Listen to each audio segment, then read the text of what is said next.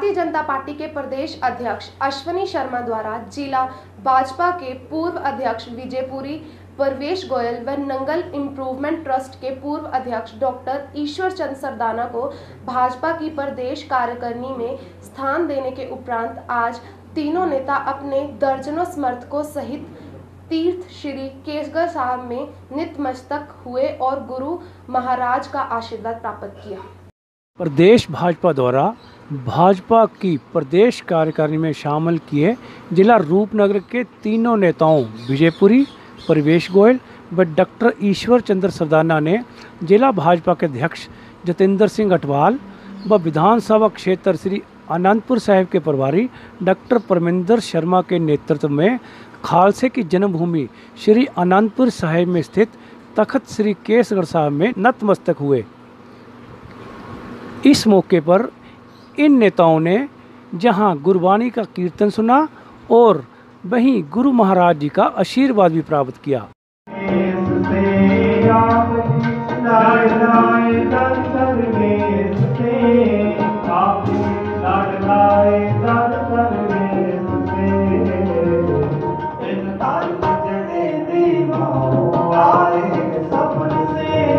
इस मौके पर इन तीनों नेताओं को भाजपा नेताओं द्वारा सिरोपे भेंट कर सम्मानित भी किया गया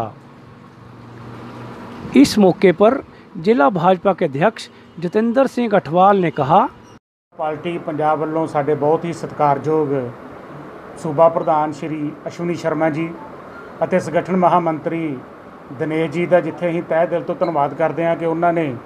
ਸਾਡੇ ਜ਼ਿਲ੍ਹੇ ਦੇ ਬਹੁਤ ਕਰਮਠ ਨੇਤਾ ਪੁਰਾਣੇ ਨੇਤਾ ਜਿਨ੍ਹਾਂ ਦੇ ਬਲ ਤੇ ਪਾਰਟੀ ਨੂੰ ਬਹੁਤ ਉੱਪਰ ਤੱਕ ਇਹਨਾਂ ਨੇ ਬਚਾਇਆ ਏ। ਸਾਡੇ ਬਹੁਤ ਹੀ ਸਤਿਕਾਰਯੋਗ ਪ੍ਰਵੇਸ਼ ਗੋਇਲ ਜੀ, ਡਾਕਟਰ ਈਸ਼ਵਰ ਚੰਦਰ ਸਰਦਾਨਾ ਜੀ ਵਿਜੇਪੁਰੀ ਜੀ, ਜਿਨ੍ਹਾਂ ਨੂੰ ਪੂਰਾ ਮਾਨ ਸਨਮਾਨ ਦੇ ਕੇ ਕਾਰਜਕਾਰਨੀ ਸਦੱਸੇ ਪੰਜਾਬ ਦੀ ਟੀਮ ਵਿੱਚ ਲਿਆ ਏ।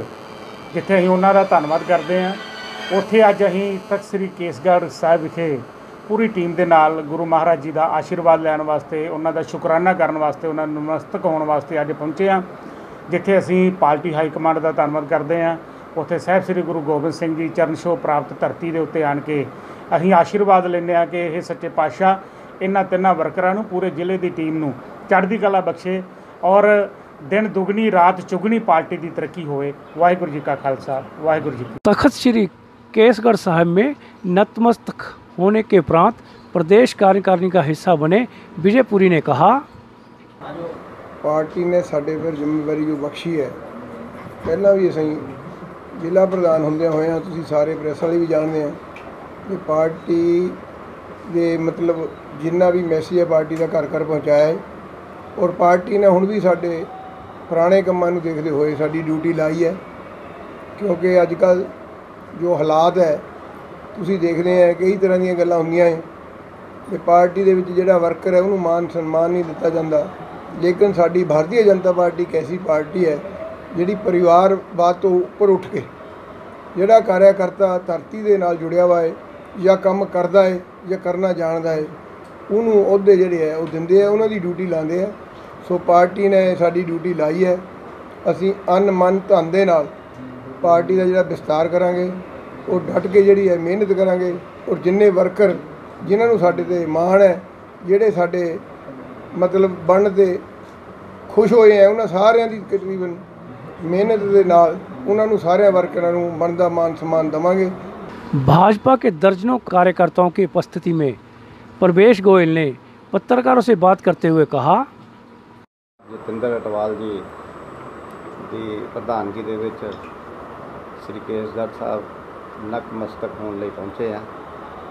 ਸਾਨੂੰ ਤਿੰਨ ਜਣਿਆਂ ਨੂੰ ਜ਼ਿਲ੍ਹੇ ਵਿੱਚੋਂ ਜ਼ਿਲ੍ਹਾ ਹਾਈ ਕਮਾਂਡ ਨੇ ਪੰਜਾਬ ਦੇ ਵਿੱਚ ਕਾਰਜਕਾਰਨੀ ਦੀ ਜਗ੍ਹਾ ਦਿੱਤੀ ਆ। ਇਹ ਸਾਨੂੰ ਜਿਹੜਾ ਮੇਰੇ ਵਰਗੇ ਨਿਮਾਣੇ ਜੇ ਨੂੰ ਮਾਣ ਦਿੱਤਾ। ਮੈਂ ਤਾਂ ਇਹੀ ਕਹੂੰਗਾ ਕਿ ਇਸ ਜ਼ਿਲ੍ਹੇ ਦਾ ਜਿਹੜਾ ਵਰਕਰ ਆ, ਜਿਨ੍ਹਾਂ ਦੇ ਵਿੱਚ ਅਸੀਂ ਕੰਮ ਕੀਤਾ, ਉਹਨਾਂ ਨੇ ਸਾਡੇ ਕੰਮ ਦੀ ਸਰਾਹਨਾ ਕੀਤੀ ਆ। ਜਿਸ ਕਰਕੇ ਸਾਨੂੰ ਇਹ ਮਾਣ ਮਿਲਿਆ। ਇਹ ਮਾਣ ਮੈਨੂੰ ਨਹੀਂ ਮਿਲਿਆ।